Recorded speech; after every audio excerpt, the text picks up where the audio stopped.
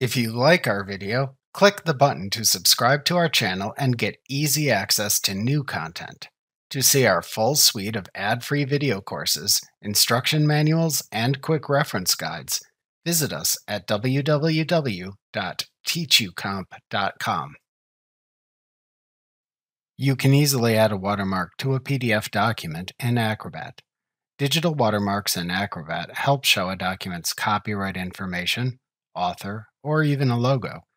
To add a watermark to the currently opened PDF in Acrobat, either click the Edit a PDF link in the All Tools panel, or click the Edit link in the top bar to show the Edit panel at the left side of the screen.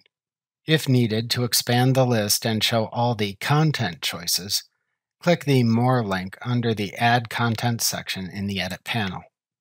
Finally, click the Watermark button in the Edit panel and select the Add command from its drop-down menu to open the Add Watermark dialog box. To apply saved watermark settings in Acrobat, select the name of the saved watermark settings from the Saved Settings drop-down.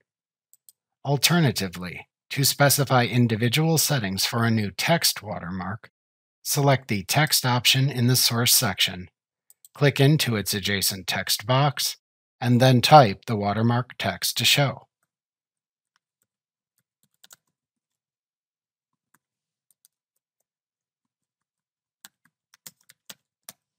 As you type, the text appears in the Preview section to the right.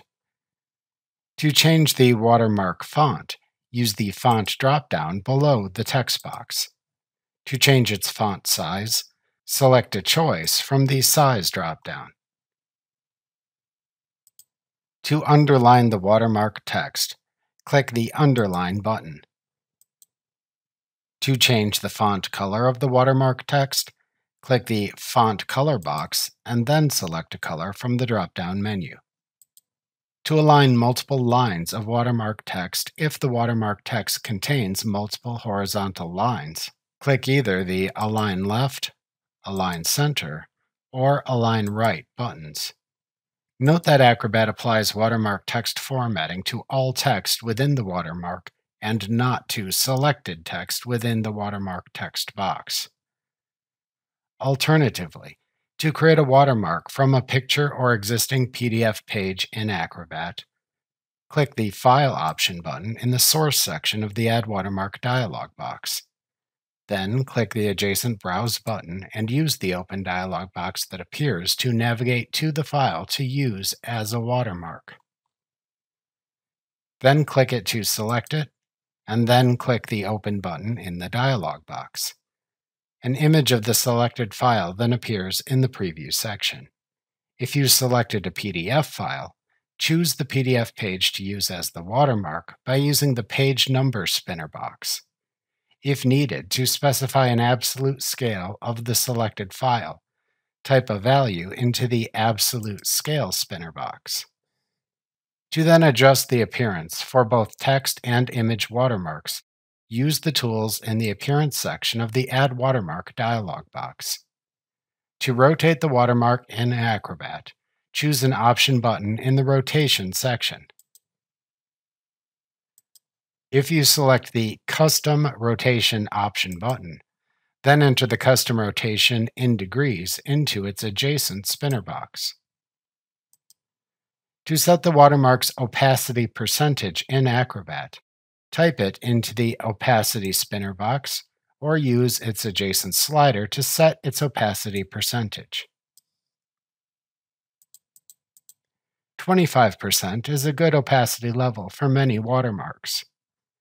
To set the scale of the watermark relative to its PDF page, check the Scale Relative to Target Page checkbox, and then enter a scaling percentage of the page size to apply into the adjacent spinner box.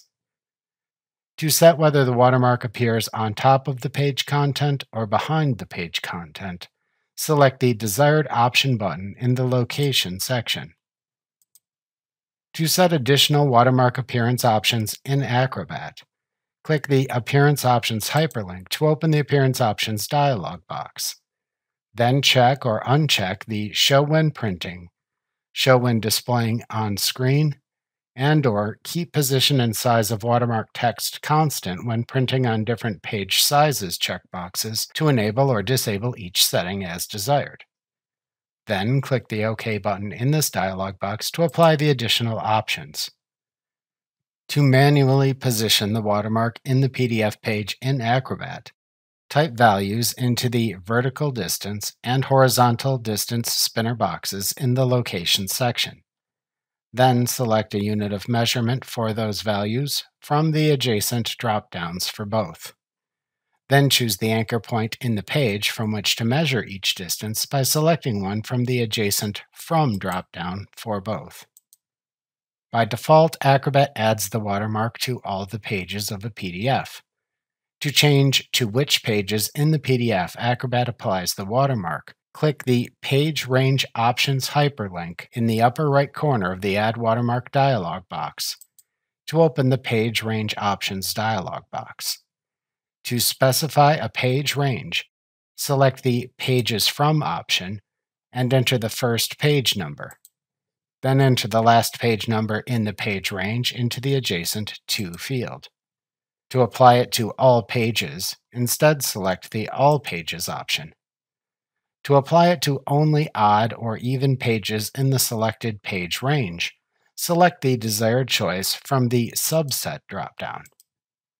Then click the OK button in the dialog box to apply the watermark to the selected PDF pages. To save the current PDF watermark settings in Acrobat to easily reuse them for other PDFs, click the Save Settings button at the top of the Add Watermark dialog box. In the Save Settings dialog box that then opens, type a name for the saved settings, and then click the OK button. To apply the current watermark settings to the currently opened PDF, click the OK button in the Add Watermark dialog box.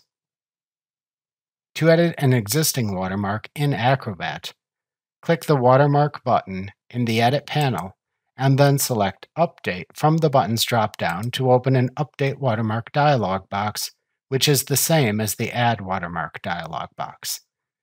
Then make any changes to save and click the OK button to apply them.